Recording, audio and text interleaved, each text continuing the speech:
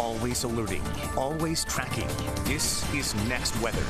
Next weather meteorologist Dave Warren has more on our endless summer temperatures, Dave. endless. I'm trying to find an end, uh, but we don't see much in the uh, no. uh, seven-day forecast. So it's still, it's uh, early October, so dealing with the heat and what is triggering uh, the showers moving through the area is now moving out of the area. So that one that developed right around Weston, Southwest Ranches has just crossed over 27. Maybe a lingering shower there, but that's it. There's a few lightning strikes there, uh, but it's all moved out. So over the interior now.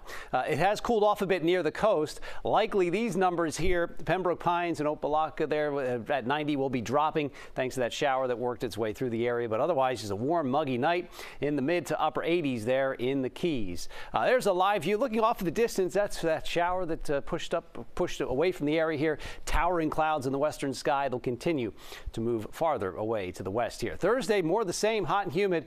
We're still mainly dry. We're in this little uh, donut hole of moisture to the north, to the south, but not over us here in South Florida. That's an inland shower or storm is possible there in the afternoon. Now we're getting a surge of moisture coming into the Gulf. Not the best timing because from Friday, Saturday, and Sunday, that moisture spreads east. Uh, watching for possible development there in the Gulf. Uh, if it does so, it could increase our rain chances here over the weekend. We'll keep the rain chances pretty high ne next week. A front working its way south is trying to pull some drier air in, but it just doesn't make it here, uh, at least over the next few days. Now, uh, keeping an eye on the tropics, uh, there's one storm that we want to watch. This is tropical depression. Watching this one here because it's still pretty low latitude, moving to the west, but starting to turn a bit to the north. Could become a hurricane here over the next 24 hours. Uh, but then the forecast models are starting to hint at that turn uh, to the north there, but uh, there's still a few continuing to move it to the northwest, something that we'll continue to monitor likely will take the same path of Kirk, which is uh, a hurricane now forecast to become a major hurricane, but turning to the north and going out into the North Atlantic. This is the one we're watching. Uh, the area to watch is still in the Caribbean here, but this development potential encompassing much of the Gulf of Mexico here. Just a general circulation here. The showers increasing a bit, going around that area of high pressure. Then it will encounter the jet stream, which will push it back to the east here.